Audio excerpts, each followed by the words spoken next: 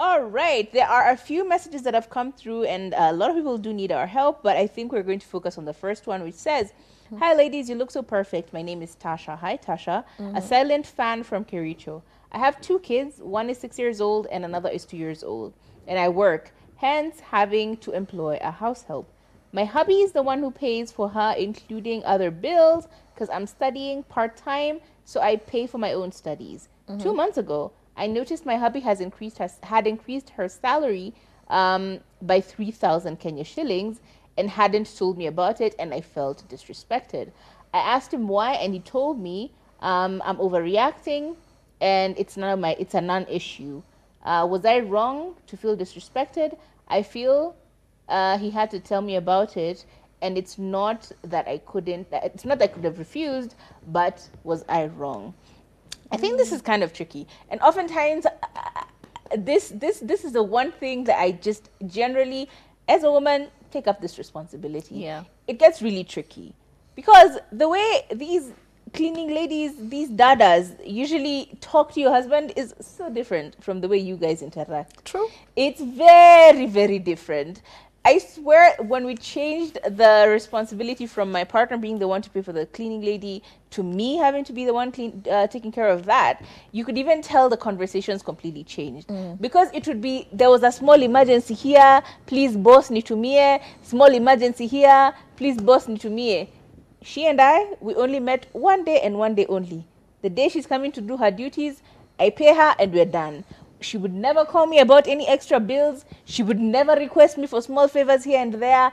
It just made all our lives easy. One, because my partner doesn't have to deal with all the send me small cash here, there, here, there, here, there, because they always send. And I then manage that. And so it's something that's off his plate. So ultimately, I think the easiest thing to do is you should be the one sorting it out. And even if it's your partner paying for it, it's okay. I think just create a buffer. For me, it's just easier to create a buffer. Mm. And yes, I understand you will feel disrespected because, again, if you're the one who's employed her, ultimately you're supposed to be part of the decision making process. And in this case you're not part of the decision making process. So it starts to make your mind wander on how, how many other things has he made decisions without my knowing? How many other things has he decided without having told me in advance? This is qu- it's, It it's, it's a a violation. Yeah it's a violation of trust especially if it's your husband. It's a violation of trust for me because we're supposed to discuss these things. Finances are finances. They affect both you and i right? So we need to discuss these things before we go forward. So i completely understand the disrespect.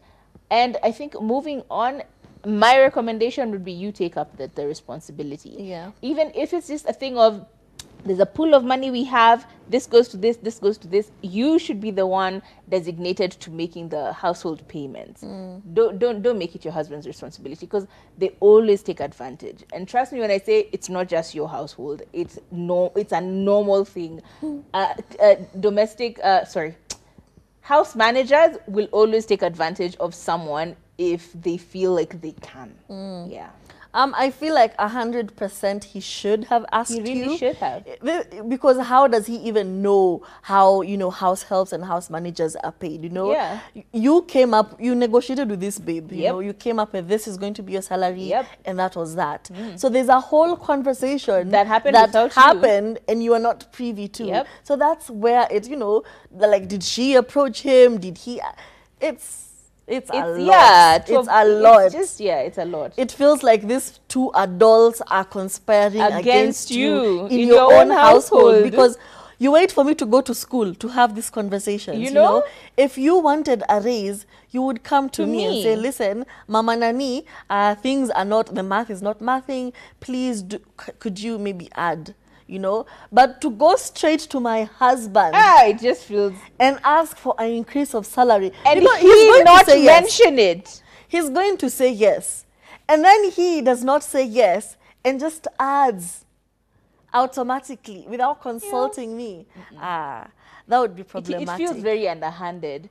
It, it could literally be there's nothing going on, but the mere fact that he made this financial decision it puts you in such a without weird consulting place. you, yeah. So now she can just directly go to him for everything, and then it's just it's just such an awkward space to be in. Yes, I feel like yeah, it happened to me. I'd feel disrespected too. And I would definitely make it very clear that you know what, going forward, we have this pool of money Mm-hmm. and I designate where the money goes. You have to put your foot down, babe. Yeah. Yeah. Um, yeah, so that's that. I hope we helped you out because that is such. Whew, I'm so sorry. I'm so sorry So you're going through that.